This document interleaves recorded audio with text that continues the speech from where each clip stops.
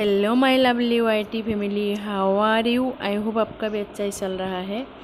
तो फ्रेंड्स मैं रोज़ की तरह आज भी लेके आया हूँ। बहुत ही प्रेटी डिज़ाइन केक है। आज का केक है थ्री पाउंड का टू टायर केक मतलब टू लायर केक आज का केक में बहुत सारा डेकोरेशन होने वाला है और बहुत ही यूनिक डिज़ाइन है फ्रेंड्स ये केक डिज़ाइन देखने के बाद आपकी नज़रें हटने वाला नहीं है। पूरा वीडियो देखने के बाद खुद ही मुझे कमेंट करके बताइएगा आज का केक का डिज़ाइन आपको पसंद आया कि नहीं।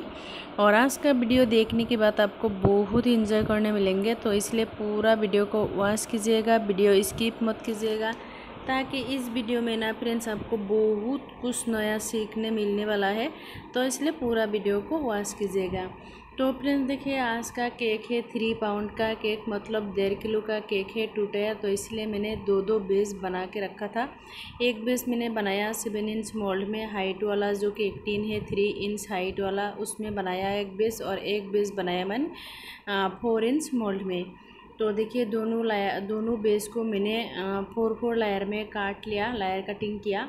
बाद में करूँगी क्रामपुट बेस को मैंने ओ से निकाल के थोड़ी देर में ठंडा होने दिया था और केक टिन से बेस को अनमोल किया था। यही है प्रोसेस। इस तरीके का ही करना से गर्मा गर्म बेस को मोल्ड से निकालोगे तो टूटने की चांस रहती है।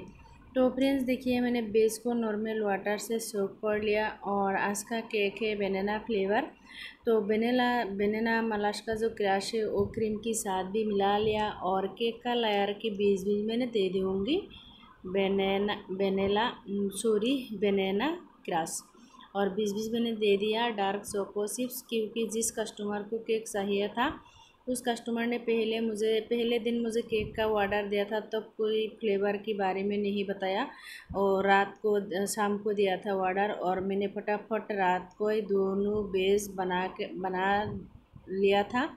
बाद में उसने कॉल किया था, उसको चॉकलेट फ्लेवर चाहिए। तो मैंने कहा, मैं तो ऑलरेडी बेस बना लिया। तो उसने कहा, कुछ नहीं होगा, आप ऐसे ही दीजिए। तो मैंने इस तरीके, मैंने ऐसे सोच करके डार्क चोको सिप बीस बीस में मैंने दे दिया, ताकि थोड़ी सी चॉकलेटी फ्लेवर आए। तो देखिए फ्रेंड्स क्राम कोट करने के बाद मैंने इसको रखा था फ्रिज में। अभी फ्रिज से निकाल करके कर रही हूँ आइसिंग।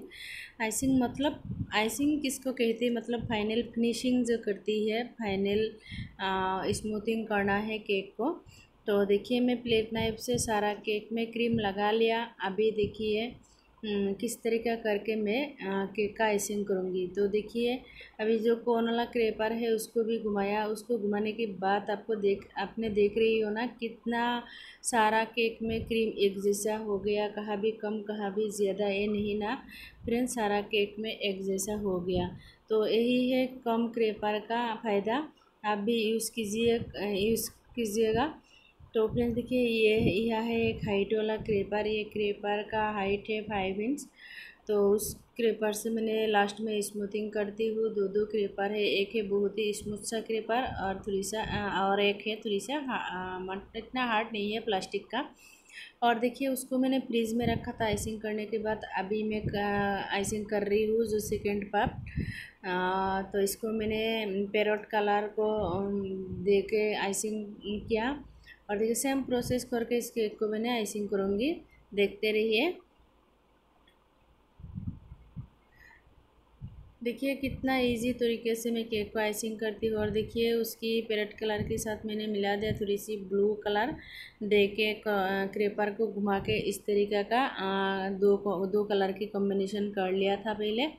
तो देखिए, यहाँ मैंने ढेर सारा फोंडेन का रिबन जैसा बना लिया था। अभी वही से सारा केक को मैं डेकोरेशन करूँगी और बहुत सारा डेकोरेशन है। लास्ट तक देखते रहिए आज का केक का जो डिज़ाइन है, कितना यूनिक है फ्रेंड्स। देखिए, यहाँ मैंने थोड़ी सी थोड़ा सा फोंडेन से हर कलर का बॉल बना के रखा था। वही बॉल से मैंने बनाऊँगी बॉर्डर ऊपर और नीचे। तो फ्रेंड चैनल पे नया तो ज़रूर सब्सक्राइब करना और सब्सक्राइब पास जो बेल आइकन है उसको ज़रूर दबाना ताकि इस तरह करने वाला हर नया वीडियो सबसे पहले आपको देखने मिले। वीडियो पसंद आए तो ज़रूर एक लाइक तो बनता है ना फ्रेंड्स और एक रिक्वेस्ट है फ्रेंड्स वीडियो को ज़्यादा से ज़्यादा शेयर करना ताकि बहुत सारा लोगों तक तो पहुँचे और बहुत सारा लोगों को वीडियो देखने मिले। तो देखिए, मैंने एक बना रखा था हाथी का बच्चा। एलिफेंट का बच्चा वो भी टोपुसन में बिठा दिया और छोटी छोटी स्टार भी टोपर बना के दे दिया। और देखिए यह नाम लिखने दिया था ना नेम को मैंने आ, किस तरीका करके हैंग करके बैठा था टूथपिक से तो आज का केक कैसे लगा ज़रूर प्यारी प्यारी कमेंट करके मुझे बताएगा फ्रेंड्स। तो देखिए कितना क्यूटी केक है ना सचमुच आपको आज का केक पसंद आया। तो इसलिए कमेंट सेक्शन को प्यारे प्यारे कमेंट करके बोल देना। तो आज के लिए इतना ही है। Thank you for watching